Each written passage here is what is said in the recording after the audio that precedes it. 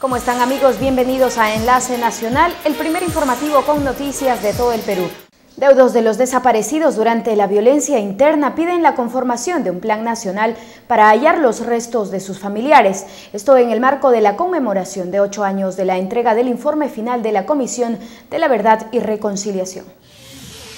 Con diversas ofrendas, los familiares de las víctimas de la violencia política en el país, así como las organizaciones defensoras de los derechos humanos, conmemoraron los ocho años de la presentación del informe de la Comisión de la Verdad y Reconciliación. La ceremonia comenzó en el monumento El Ojo que Llora, que recuerda a las víctimas del conflicto armado. Yo a lo menos tengo 27 em, años luchando en busca de mi esposo porque lo detuvieron y lo desaparecieron. Entonces eh, tenemos esperanza en este gobierno, pues ojalá que llegue esa reparación individual. La Comisión de la Verdad y Reconciliación fue creada en junio del 2001 por el entonces presidente Valentín Paniagua y su informe final fue presentado el 28 de agosto del 2003 ante el entonces jefe de Estado Alejandro Toledo. Dicha comisión tenía como fin analizar la violencia armada interna vivida en el país entre los años 1980 y 2000. En la ceremonia también participó Carlos Tapia, quien leyó un mensaje a los deudos en representación del gobierno actual en donde se comprometen a realizar una política integral de reparaciones individuales y colectivas, materiales y simbólicas. El develamiento de la verdad, el imperio de la justicia, el pedido de perdón y la necesaria política de reparación son los elementos indispensables para conseguir una auténtica reconciliación nacional. Por su parte, Gisela Ortiz, familiar del caso La Cantuta, lamentó que aún después de ocho años de presentadas las recomendaciones de la CBR, poco o nada se haya hecho. En realidad casi nada, ¿no? Es doloroso para nosotros como familiares reconocer que estamos recordando ocho años de la entrega de este informe en los cuales no se ha avanzado casi nada por parte del Estado, no hay una política integral para resarcir todo el daño que nos causaron, sea por acción del Estado directamente o por acción de los grupos terroristas. En los temas de justicia más bien hay un retroceso, hay mucha impunidad, no hay un plan nacional de búsqueda de los desaparecidos. De igual modo sucede con el tema de las reparaciones individuales. No hay una política integral de reparación el gobierno de Alan García antes de irse dejó el decreto 051 otorgando 10 mil soles a cada familia, lo cual es un insulto. El informe final de la CBR estimó que cerca de 70 mil personas fueron víctimas del conflicto armado interno, entre muertos y desaparecidos. La conmemoración de este octavo año de su presentación culminó con un multitudinario concierto folclórico.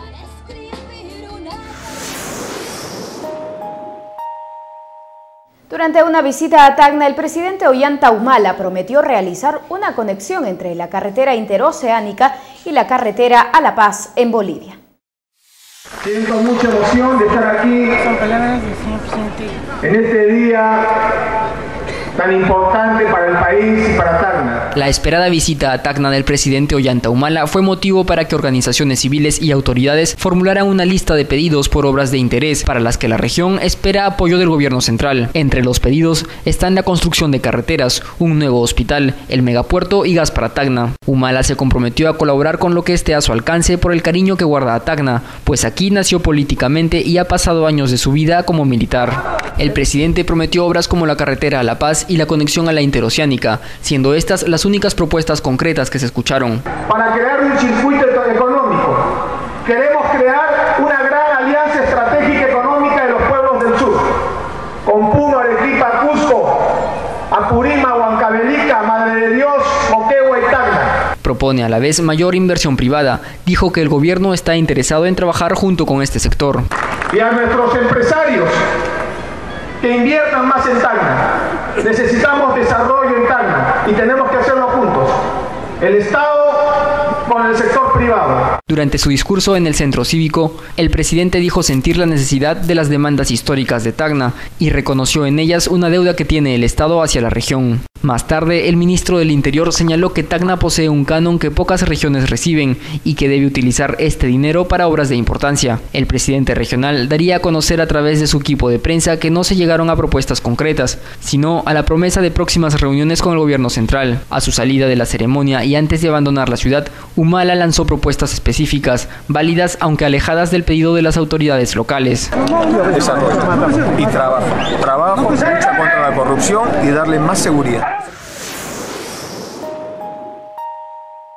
Por otro lado, la Defensoría del Pueblo propone cinco áreas para trabajar en prevención del delito. Veamos la nota. El defensor del pueblo encargado, Eduardo Vega, participó en una sesión de la Comisión Especial de Seguridad Ciudadana del Congreso de la República, ello con el fin de alcanzar algunas propuestas de dicha dependencia para combatir a la delincuencia. Nosotros lo que hemos venido a plantearle a la Comisión principalmente son propuestas en cinco áreas de atención. Cinco áreas que hemos definido desde el área de prevención a nivel todavía de eh, los municipios y de la propia policía, en el área de control y reacción que la propia policía tiene que tener frente al delito y de manera inmediata, en el área de la investigación y el juzgamiento y la sanción de los delitos, en el área del tratamiento penitenciario y en un área que a veces está descuidada, pero que nosotros hemos querido resaltar hoy día como un área importante, que es el área de atención y protección a las víctimas del delito y a los denunciantes.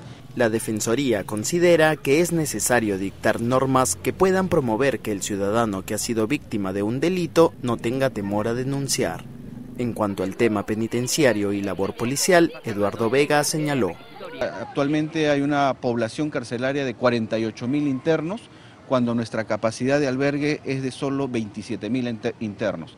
Y por lo tanto, según diversos estudios técnicos que se han hecho en el pasado, se requieren por lo menos la construcción de seis penales. Seis penales, dos de ellos de máxima seguridad, dos de mediana seguridad y dos de mínima seguridad. En el caso de las comisarías, lo primero que hemos señalado es que urge potenciar o repotenciar la capacidad logística y de reacción de las comisarías.